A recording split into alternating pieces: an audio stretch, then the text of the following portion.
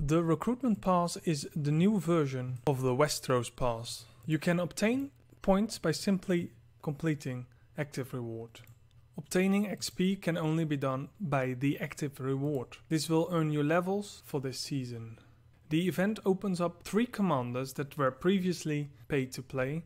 Buying the legendary decree allows you to select a commander of your choice. Upgrade recruitment pass to obtain the commander medals for that commander. While the hero decree is exactly similar as the Westeros pass, you can instantly buy the legendary for 400 black diamonds. After buying it, you can select a commander you like to upgrade.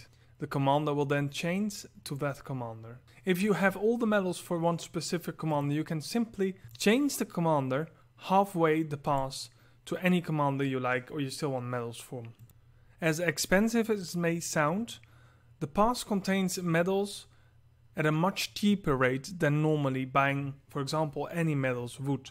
It unlocks an additional marriage shard chest. It also includes several item shop exclusive items. However, you can also get some, for example, compasses from the normal decree. Besides that, it will also contain a lot of items that are usually incredibly expensive in the item mall only. This will help you get some of the Black Diamond commanders a lot cheaper.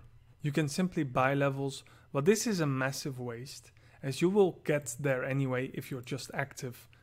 The shop also includes a lot of commander medals that are previously obtained from the Westeros Pass. However, the pass coins only come from the normal and the hero decree. Don't forget that when buying the legendary decree, you still have to buy the hero's decree. Every level above level 100 will enable you to get one extra medal or 100 pass points for the hero decree. The recruitment pass replaces the Westeros pass. Thanks for watching. Don't forget to subscribe, like the video for more, and I'll see you next video.